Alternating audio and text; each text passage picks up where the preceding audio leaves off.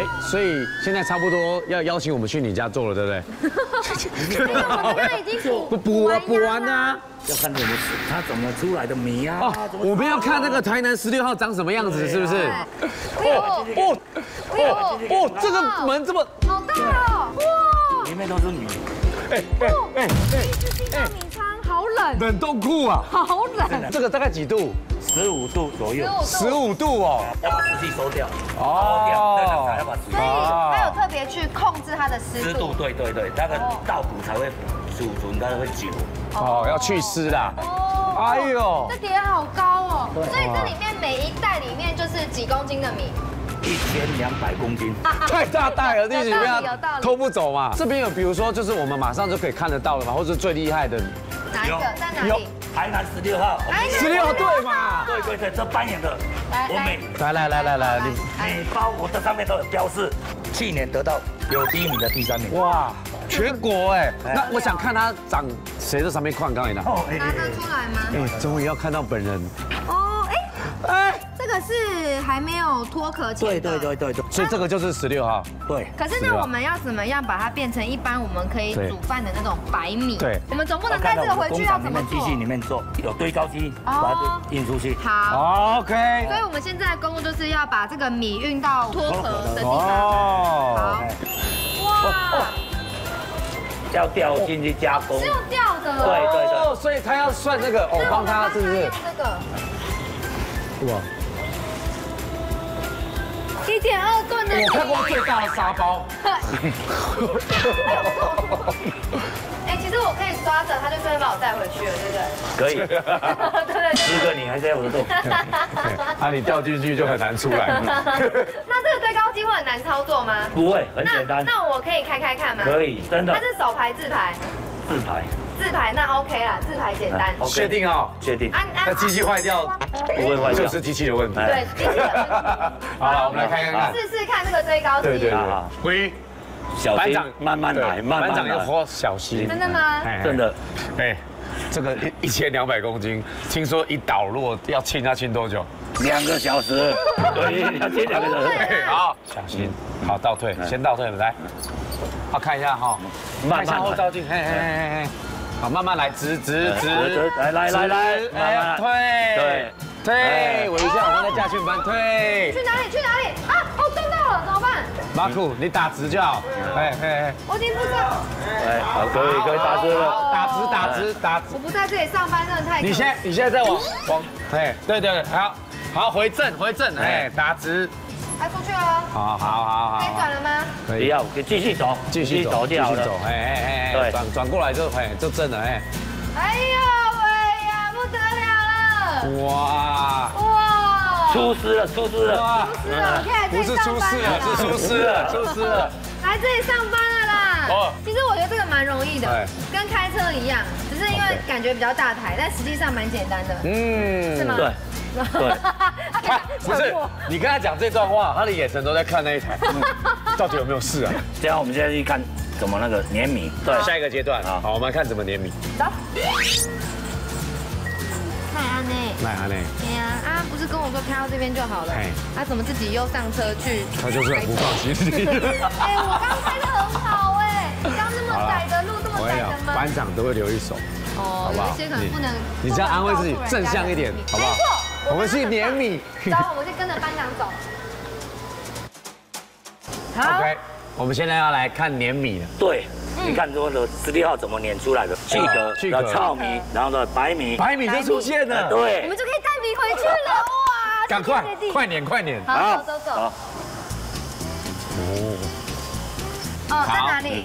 这里。在这里，在这里。在这里，这是我们刚才糙米的，对，所以壳去掉第一步会先变糙米，对然后糙米才会再变白米。对，所以从米糠变成这个糙米的原理是什么？它怎么去？用挤压的，挤压的。用挤压的。哦，嗯，那我们来看一下怎么好来我现在开启了。已经开机了。现在一直在运转了，慢慢的运转了。全部都是这种人工哎，是机器了，所以我们刚刚那一袋米，它就是会在可能最上面，然后把它倒进去，对对对挤类似啊，它等于是经过了一连串的滑水道之后对，最后哎比基尼不见了，怎么都想到这方面的。类似这个概念对对对你看我是不是很懂你？啊，接下来就会到我们刚刚看到红色的那个地方，哦倒下去，好你可以把它倒下去，把它倒下去。倒下去。哦，了，好酷哦。通常白米怎么出来的？好，我们去看白好，我们米去。。来来来，白米在哪？这里啊，真的变白了，哎变白色了，现在出来了，这个可以用手这样。所以这还不够白。哎，是热的，刚煮的米是热的，温温的，好可好有趣哦。还没有白，还没有，这要放回去，放下去。四五道，好四五道这其中一道而已啦，我们去后面看啦，好。来去后面。来来来，OK，来，往前走。哦，哎，，变更白了。超白。这个是洗米啊。这个是超级白的。米，哦。哦，哦，哎，味道又不一样了。完全都没有了。对。那还有后面的。还有，有哦，啊，弯道剪到已经立色彩鉴别机，感觉是小叮当的口袋里面。对对对对哒哒哒哒色彩选别机。选完之后，这个这那掉下来是什么？不好的不良品不良品，那这个不良品就丢掉吗？还是要干嘛？加工副产品，本来他是说给你们吃。好，那我们想看一下，有有样子吗？哦哦，出来了，有了有了有了。来看一下，未成熟的米长这样。哦全部白白的，像糯米一样。这一台选完之后就可以了吗？还是不行，还不及，来？还不行哦。还有就把从吃掉的、坏掉的不挑掉，，OK，它坏掉了长怎样？一点点的，黑黑的，一点一点有的。真的有，你看，因为你看这个很黑黑的，很明显。然后还有红红的，哎，对，这些都是被虫蛀过的。对上面有瑕疵的啦。对，啊，所以们平常要吃的米吗？对。终于它拿出来了。哇哇哇！哇哇，哦，好漂亮哦。哎，它的色泽真的是那种很透明，很像白玉的感觉。对，真的是见鬼这。个就是一般你们呃挑完拿去超市卖的米对，就是这种的。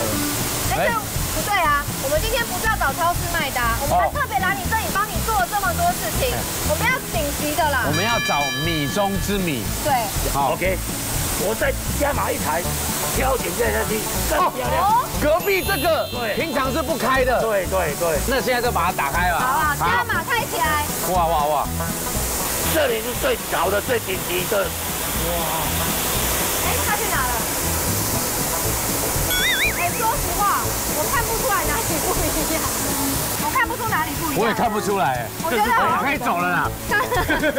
这是最好的，当然是看不出来啦。为什么？那它差在哪里？它的未成熟率，再把它挑干干净，每确个都保是每一颗都是成熟中的最完美的。对最饱满的。所以这个这么厉害的米，我们总是要先来试一下，哎，才会知道这个米到底有没有顶级啊。，对哈，不然带回去万一不一样怎么办？是是是是是。好，那我们就来试试看，这个是不是真的那么厉害？好，我们那个只是一天的缩影，他们是一直在做这件事情，所以我觉得这个很难能可贵。然后我们也那一天就可以体验到他们的喜怒哀乐。哇！终于到了我们这个节目的主轴，对，因为我们开动吧，漂亮姐姐，姐姐我们要开动了。要开动了。这个就是刚刚已经煮好的那个哦台南对对对对十六号，对对不对对对？哦，哇，哎，热腾腾最新鲜的，你看，工作了一整天，其实真的肚子也饿了，真的，也没有其他配料也不，可能会有和牛啊，还是干贝，不可能。有，有吗？刚才金宝宝。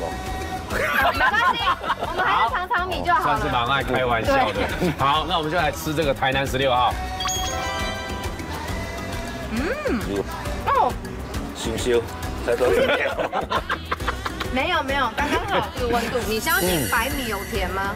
哎呦，很像加了那种糖还是蜂蜜的感觉。加了蜂蜜的话，你讲得出来那。个感觉上这个甜甜度，好我赶快来感觉是有，就是你知道加了不一样的东西，但它却是白米。不是，我跟你讲，刚刚我在开开始在夹它的时候，我就已经发现它这个好的米哈，跟一段感情一样，怎么样？怎么样？有一点黏，又不会太黏。哎，你真的是感情很丰富哎。嗯，没有没有，我都是一次一锅饭而已。对对。然后我懂你那个甜味，它的甜味在你全部都嚼，就是都吃到里面。从口腔里面散发出来那个淡淡淡淡的那个香甜味，对，在这里，我跟你讲啊，我们这委托人艾莎一定会有回到日本的感觉，好不好？嗯，好，那我们已经验证过了，可不可以把我们那个台南十六号？好。哇！哇！皇上万岁万岁万万岁！哇！所以我们我们现在就是要拿着这个带回去给艾莎。好，你跟艾莎说一下，艾莎，你知道我的名，一定爱上我。哇！哎，你女儿在旁边，我爱上我的名，爱上你的名！你会看到从一开始我们去插秧，然后我们去谷仓，然后我们看到每一个米，然后脱米、洗米，到最后产出来的白饭的时候，你会有一种很感动，会感受到他们的辛苦，然后你会不想去浪费这个东西。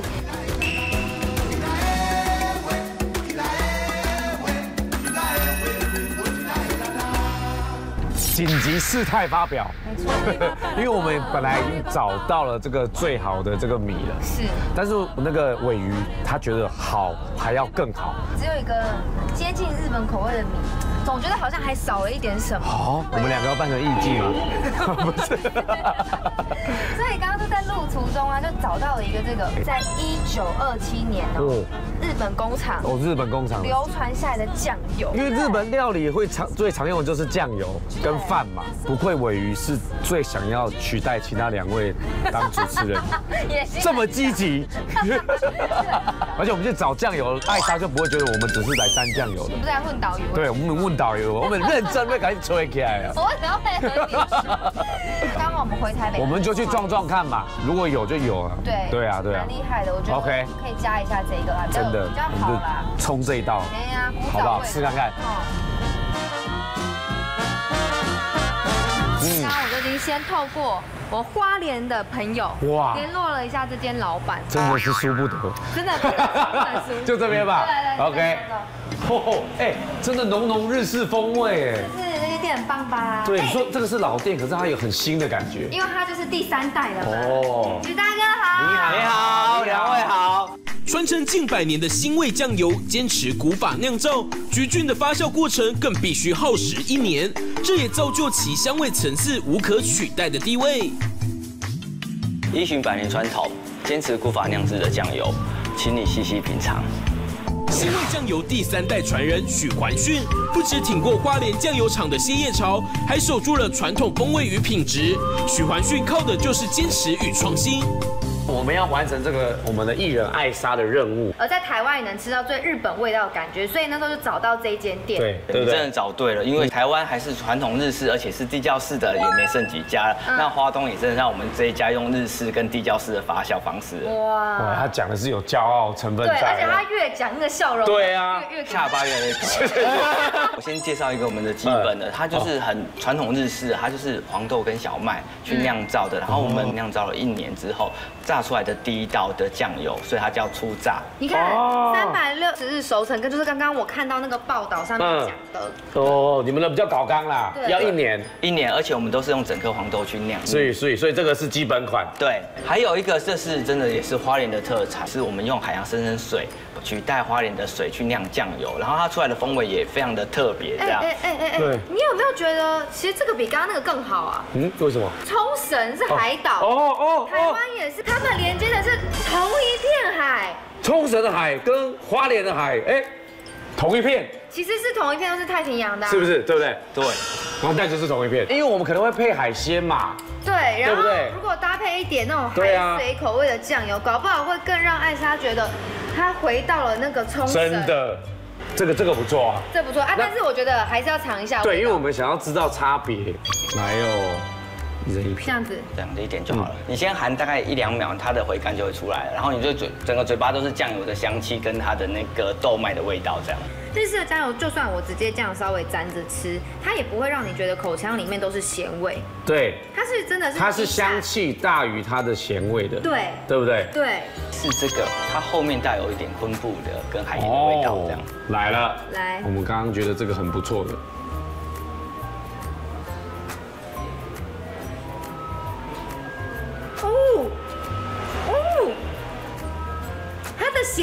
延伸的。嗯，哎，对，而且会想，嗯，把它吃进去，你仿佛真的感觉到。太平洋的海水，海风吹过来，对，然后有没有跟这个酱油做了一个很开的的交缠？它其实你会不会觉得它的那个味觉丰富度更高？因为它除了豆麦之外，它还多了一些海洋的元素在里面，让你的层次感更高，然后觉得它内涵更丰富的感觉。哦，老板就是让我们讲出那四个字。对啦，来来，香浓甘醇。对，只是马上有这四个字。真的有哎，真的有哎，真的不一样哎。那这个真的好。这个好，哎，我觉得，我觉得我们可以带一组他的礼盒回去，是，然后顺便让艾莎，然后艾莎挑剩的就是我们的，没有，不是，送给艾莎，艾莎在台湾也能感受到这种日制对。酱油的手法，对对对对，好，那刚刚老板也说他想要带我们去看一下啊，这个制成嘛，对不对？我觉得还是要了解一下，对对对对，我们去看一下，老板看一下，OK，好，我们在外面看一下，好，这是什么啊？这是黄豆上好渠，然后它现在培养两三天，那我们还要做一个动作。就要翻曲，让他们每个面都可以吃到曲菌，让它可以发酵的更均匀。对，我们现在应该来帮你翻一下这个曲菌嘛？因为我以为是像弄汤圆那样，对，要用 筛的。有啊，哎，其实它很简单，它其实就把呃每个地方先把它集中起来，哦，集中起来，然后哦。翻搅均匀之后，然后再哦这个哦哇。烟雾弥漫呢，开始放，真的。然后，然后再把它再把它铺回去，这个很容易会让人家误会你没有在做事，因为因为你翻完然后又又回来，翻完然后又回来，哎，结果会知道你有没有做事。OK，对，因为它发酵的均匀就是有做事。好，那我这样，你负责把它举起来，我把它拨散，好不好？你看我一直在中间，好。哎，我现在就是一个。哦。哎呦哎呦哎呦。是不是很像猫咪？贤妻良母，这个跟贤妻良母有什么关系？就是很手法很好啊，好均匀吗？没有，没有。为什么？为什么？因为只有把它放在那，其实你还要有一点翻搅，翻的。对，不是这样撸撸而已。哎，对，不是这样撸撸而已。这样。好。好是老板说一下。我是你说。不是你说好。我想说应该 OK 了吧？那这个。下面还有步骤吗？之后要下缸，还要翻搅，然后发酵一个一年这样。哦。那现在有可以翻搅的，让我们看一下。有，我们我带你去那边看。好。好，那我们来看一下怎么样翻搅。嗯。嘿，老板，我们现在来到这边就是地窖式的发酵槽。好。然后我们这个是因为它是挖一个洞，挖一个像地窖的东西，然后它其实这个这个都深两公尺以上。哦。所以是如果一失足就不得了。哇。就可能三天后才到期。好啦，没有，要请老板帮我们打开，我们来看一下。我们来看一下。好，你看一下，现在长什么样子的哈？来来。啊，你帮老板。那我帮你啦。因为这感觉蛮重。对，这个是一面墙的感觉。因为奇怪，今天妈妈。好好，一二三。哇！哇！哇！好大一片哎。这一根不会就是要翻搅它？没错。那我需要拿给你了。那我们现在请老板来示范一下。它其实这两三天就要翻搅一次，让它的发酵会比较好。很深吗？我以为是钓虾池在测那个深度。哇，好深啊！哇！哦，这个下去会灭顶哦。那它怎么翻？就你要把它整个拉下去，让下面的发酵的黄豆、小麦可以拉上来做循环的发酵，这样。哦，你看啊，而且很明显，它翻过就是新的。对。所以它这样子就整个都要把它。因为颜色才会。对对对。那你这样翻一缸大概要花多久时间才可以让它很均匀都翻？哎，大概都要二三十分钟。哇，它这个两三天翻一次是对的。对，因为翻一次就要休息两三天。哎，你要不要去试一下？哦，对了，但该让大家知道我腰的能耐。来，好不好？好，下去啊。然后老板说这样嘛，然后嘞阿，嘎啦啦嘞，是吗？对，哎，阿嘎跳出来，很重吗？哦，你的手超哦超抖哎，是哎，是，真的不轻哎，这个真的，你手臂肌肉线条都出来了。有没有？做几天就变健美先生。这个腰跟手臂的力量都要都要运用哎，哈。绝对不放手给别人，就是为了要展现一下。突然觉得来到少，林寺特写，可是于哥很少给我特写的。别告诉你他的腰啦，好了，差不多，有帅到了。在体验过翻局和酱缸翻脚后，立冬和尾鱼终于要迈向最后一个步骤啦。而究竟他们第一次炸的酱油成品会是如何呢？好，嗯。我们现在来到这个最后一道工序，就是老板说要把它这样挤出来，把酱油给炸出来。没错，把豆瓣酱再变成酱油的最后一道，然哦。后，然后我们体验一下怎么样把豆瓣酱变成酱油。这就是我哇，刚刚那个已经发酵好的，对。那接下来要怎么样？把它放到袋子里，哎，对你倒两匙进去，这样子对，好，再然后来。再再一匙。对，像挤奶油一样这样。哎呀，身为这个甜甜小厨哎，娘，烘焙王啦。得了了！我在疫情期间在家做了很多的豆浆。然后用用力挤就可以。其实古法就真的是用麻布袋，来来来来，镜头一定要近一点，你看，哎有了有了，看到没有？有了啦，恰恰。哇，哦，有有有有。这比挤所以以前古法就是这样纯手工去弄的哦。。对，它其实就用压的，就用重物去那现，在就是用机器的。用机器去压这样。OK。有了有，哎，我跟你讲，我是哎，真的，你真的是千万不要辜负我鱼，不然就会被炸出汁来。弄成人哎，他这样算厉害要吧？算厉害，一个女生这样凶残哦。好，来稍微先放这里一下，哎，就是就是我们刚刚那个粗糙的味道啊，那个香味，嗯，是对不对？哎，很厉害哎，哎呦，真的是哎，一模一样样。真的是哎。好了，我们了解这个过程，我们就会更珍惜对这个得来不易的这个酱油。然后也可以跟艾莎分享一下日本传统酱油的做法。对，我们就带一桶回去，让他在那边弄弄弄。不太行，我们是要帮他圆梦，我们就买两好瓶就好了我们现在又收集到这个神器了，对对不对？我们就赶快回台北。好来好打火车。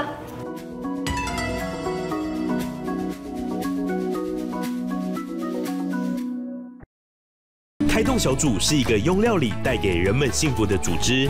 了解艾莎的心愿后，立冬尾鱼和艾莎妈妈私下联系，并取得了千田家不传之秘的大补汤食谱，并要在今天还原出来。立冬尾鱼，这次任务的成败掌握在你们的手中，加油！这个是白菜在那里，就是这边应该都是锅底，然后丸子应该要去那边炸炸，然后就把菜放下去之后，依序下那些料。，你用这个好了，然后我来先切这些菜，好，丸装物交给我，对备料这边汤的部分交给你。对。